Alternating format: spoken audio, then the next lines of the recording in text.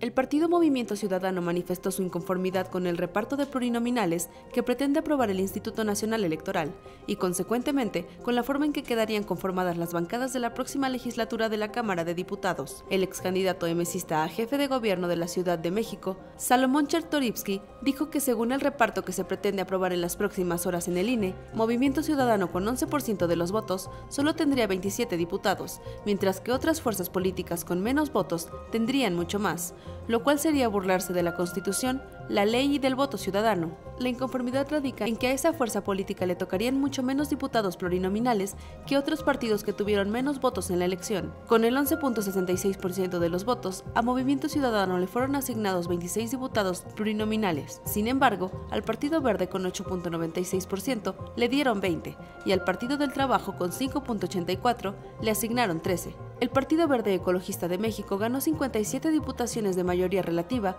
y el Partido del Trabajo 38, mientras que Movimiento Ciudadano solo uno, con lo cual sus bancadas quedarían integradas de la siguiente manera: Movimiento Ciudadano 27, Partido Verde 77 y Partido del Trabajo 51.